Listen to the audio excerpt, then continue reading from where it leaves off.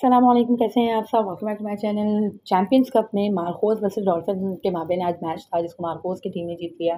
Third consecutive उनकी victory है markhor की एंड सेकंड कंसेक्यूटिव डिफीट है डॉल्फिन की। बाय द वे डॉल्फिन ने दो ही मैचेस खेले हैं और दोनों उन्होंने लूज़ कर दिए हैं। सरफराज अहमद इस टीम को मेंटोर कर रहे हैं and Saud Shakeel is captain so so, ये टीम काफ़ी ज़्यादा है कि बुरी इसकी परफॉर्मेंस जा रही है अलॉन्ग विद लाइंस की टीम भी अभी तक अपनी कोई फतह अभी तक नहीं समझ सकी। है दो मैचेस कुछ लाइंस की टीम ने भी खेल लिए हैं शाइन की टीम ने। एंड वो भी अभी तक फतह के तलाश में हैं एंड दोनों को अभी तक फतह नहीं मिली है। जबकि पैंथर्स एंड मार्कोर्स की टीम अच्छी जा रही है। मार्कोर अभी तक अनबीटन जा रही है। पैंथर्स ने एक मैच हारा था। एंड uh, दो मैचेस स्टेडियम्स भी खेल चुकी है एंड uh, वो भी एक जीती एक हारी है।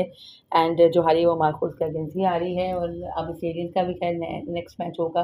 तो देखते हैं वो किस तरीके की परफॉर्मेंस देते हैं और तो इसके बाद है कि डिसाइड कर सकते हैं।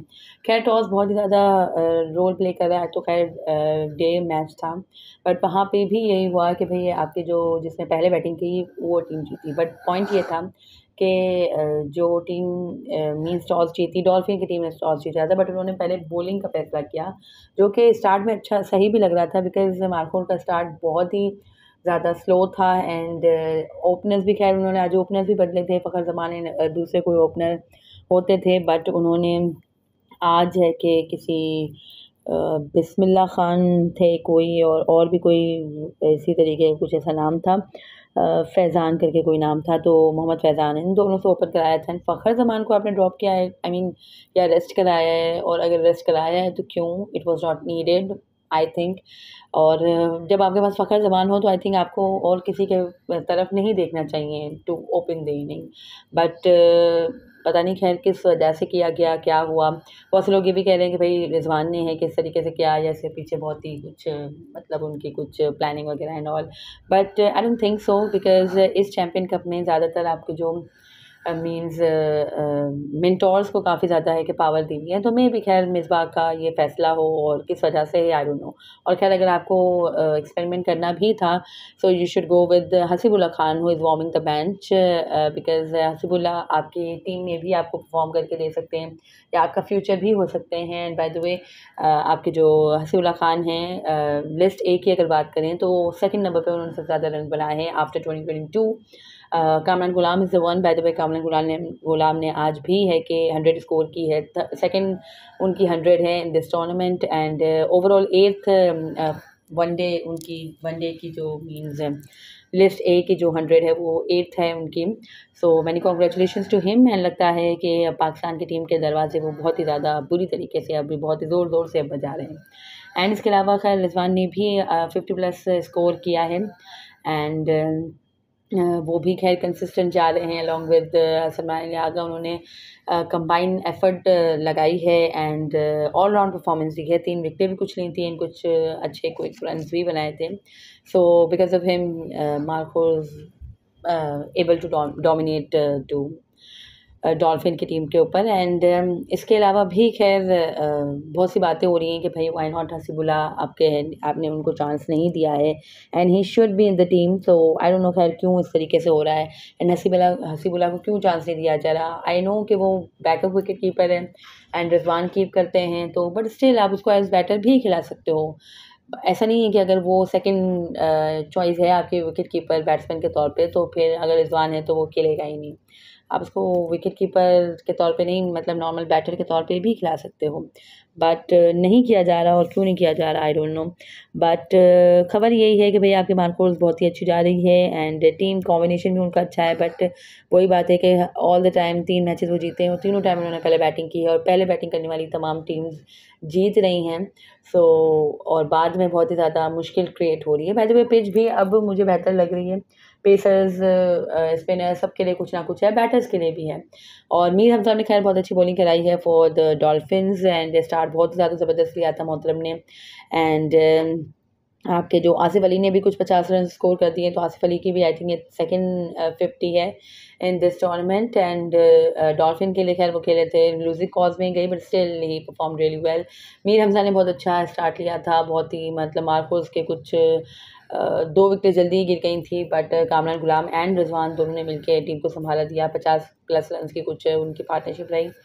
फिर है कि जान got out after scoring fifty and इसके बाद और है कि आगा वगैरह ने है कि टीम को संभाला दिया। सो ओवरऑल एफर्ट के बाद टू हंड्रेड एटी प्लस कुछ रन बनाए थे मारकोट की टीम ने and hundred ninety two run बना सकी जस्ट डॉल्फिन की team and ninety two run से जीत गए। और कोई भी मैच खैर इतना क्लोज नहीं जा रहा। चैम्पियंस कप के काफ़ी मैचेस कुछ पाँच छः मैचेस हो चुके हैं। बट एक भी कोई थ्रिलर देखने को नहीं मिला बिकॉज़ मतलब फ़र्स्ट बैटिंग वाली टीम ही डोमिनेट कर रही है, अच्छे रन बना लेती है। एंड सेकेंड टीम मतलब करीब भी नहीं जा सकती है। तो थोड़ी सी कंपेटिटिव क्रिकेट हो तो आई थिंक अच्छा है लोगों को भी मज़ा आएगा। बट ऐसा नहीं हो सक रहा है। सो लेट्स सी आगे, आने वाले दिनों में कुछ ऐसा हो जाए। और बैटिंग सेकंड टीम भी है कि अच्छी परफॉर्मेंस है। खैर, जो स्टेडियंस का मैच हुआ था, वो तो क्लियर स्टेडियंस को जीतना ही चाहिए था। बट बिकॉज़ ऑफ़ शानदार बैटिंग जो कि all the way all the time खैर हमारी होती ही रहती है। सो इस वजह से है कि स्टेडियंस आगे वरना मुझे लग रहा था कि चलो अब बैटिंग सेकेंड टीम जीत जाएगी because just two thirty plus कुछ रन बनाने थे but apart of Babar Azam कोई भी खैर कुछ भी नहीं कर सका। फोर्टी फाइव रन उसने कुछ बनाए थे। इसके अलावा और कोई बीस रन भी नहीं बना सका। डबल फिगर्स भी आपके जस्ट है कि दो बैटर्स ही डबल फिगर्स में दाखिल हुए शान एंड बाबर इसके अलावा तमाम आपके है कि सिंगल फिगर में ही आउट हो गए। डग भी काफ़ी ज़्यादा हुए। खैर मोहम्मद हुरैरा भी आज खेल रहे थे उन्होंने भी ट्वेल्व बॉल डक पे आउट हुए मोहतरम। आई थिंक डॉल्फिन के लिए खेल रहे थे शायद। सो so, ये भी खैर मोहम्मद हुरैरा आपका एक अच्छा टैलेंट है एंड फ्यूचर में आपकी टीम को सर्व कर सकता है बट स्टिल उस वो भी यहाँ पे स्ट्रगल कर रहा है। कि नया बॉल यहाँ पे थोड़ा सा सर्वाइव करना मुश्किल है आई एग्री वो और वो ओपनर आता है Hurairah. And twelve ball duck मतलब ऐसा नहीं होना चाहिए और मतलब अब देखते हैं खैर क्या होता है। किस तरीके से वो सर्वाइव करते हैं डॉल्फिन किस तरीके से सर्वाइव करती हैं मारखोर्स के लिए तो आई थिंक कोई प्रॉब्लम है ही नहीं। एंड uh, मुझे खैर ऐसा लग रहा है कि जिस तरीके से ऑल द टाइम यही होता है कि रिजवान की टीम अच्छी परफॉर्मेंस देते हुए सेमीफाइनल फाइनल में पहुँचती है और फिर फाइनल में जाके आउट हो जाती है। सो आउट मीन्स है कि फाइनल में जाके हार जाती है बिकॉज़ फाइनल में कोई आउट नहीं होता है। So run run and up team रहती है सो so, हो सकता है इस बार भी ऐसा कुछ हो बट हो सकता है इस बार हिस्ट्री क्रिएट कर दे रिजवान एंड उनकी team so let's see what happens anyways इसके अलावा जो आपके मेंटोर्स हैं उनकी भी मीटिंग हुई है आपके पीसीबी ऑफिशियल से जिसमें director high performance and tournament Nadeem Khan sahab शामिल थे डायरेक्टर डोमेस्टिक अब्दुल्ला खुलम नियाजी भी शामिल थे general manager domestic Junaid Ziyad साहब भी थे, जो कि पीसीबी को रिप्रेजेंट कर रहे थे।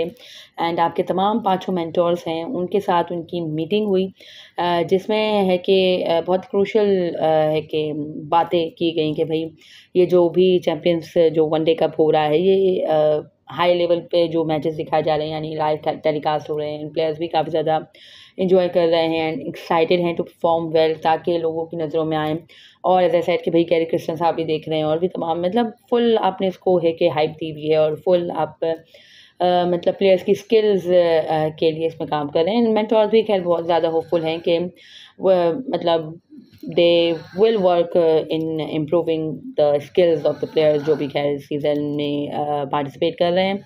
इसके अलावा मेंटर्स ने ये भी मेंशन किया है कि जो पीसीबी और मेंट जो मेंटोर्स हैं, उनके दरमियान ये डिसाइड हुआ है कि मतलब ये जो आपका एंड हो जाएगा चैम्पियंस वनडे का इसके बाद प्रेसिडेंट वनडे का भी स्टार्ट होगा, जो कि अक्टूबर थर्ड से कुछ स्टार्ट होगा, उसकी तमाम डिटेल्स मज़ीद है कि एलेबरेट कर दी जाएँगी। बट uh, अब नेक्स्ट जो आपका टूर्नामेंट होगा वो भी वनडे टूर्नामेंट ही होगा। इसके बाद आपको कुछ आई थिंक टेस्ट क्रिकेट ही खेलनी है one day cricket I don't know आपको कब खेलनी है। बट uh, है कि चैम्पियंस ट्रॉफ़ी की बेसिकली तैयारी हो रही है और चैम्पियंस ट्रॉफ़ी के लिए कुछ एक दो नए नगीने अगर पाकिस्तान फाइन कर सके through this tournament so I think बहुत ही अच्छी बात होगी। बट थर्ड अक्टूबर से आपका प्रेसिडेंट वनडे कब स्टार्ट हो रहा है सो इंशाल्लाह उसको भी कवर करेंगे। And that is it from this video अगर वीडियो पसंद आई हो तो लाइक कर लीजिएगा share and family to subscribe to my channel Allah हाफिज़ टेक केयर